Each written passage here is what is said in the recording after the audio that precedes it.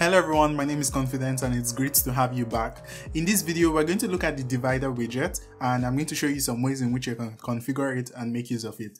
So let's get started by bringing a divider widget into the canvas. So I'm just going to drag a divider widget right here.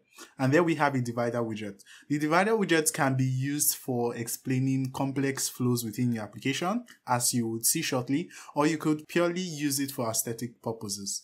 Taking a look at this, the first property we can configure is the orientation of the divider widget. So we can choose to make this um, horizontal, which is what it is by default, or we can make this vertical and then expand this a bit so that we see the um, vertical orientation. So let's set this back to horizontal.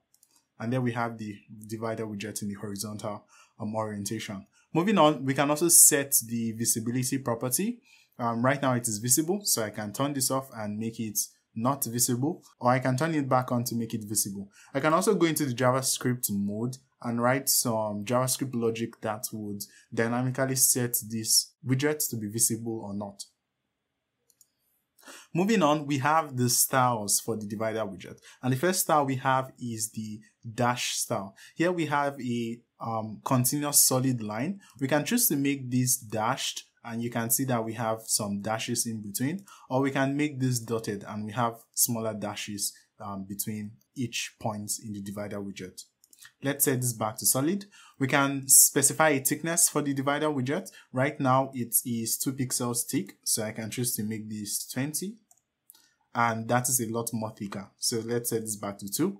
And then we have the thickness set to 2 pixels. We can also specify a color for the divider object. We can set it to any of these predefined colors, or we can go in to supply a hex code or a color name for the color we want to set this. So let's set this back to black and then we have a black divider widget. We can click on any of these to set it to any of these predefined colors, but let's set this back to black, and there we have a black divider widget showing up.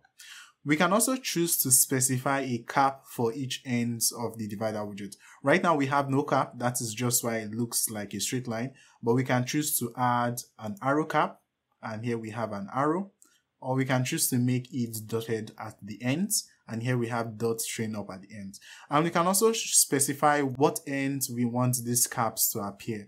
We can make it to only appear to the left, and there we have only cap to the left, or we can make it appear only to the right, and there we have um, only to the right, or we can make it appear at both ends, and here we have it appearing at both ends.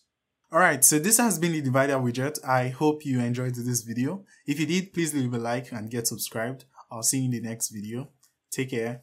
Bye bye.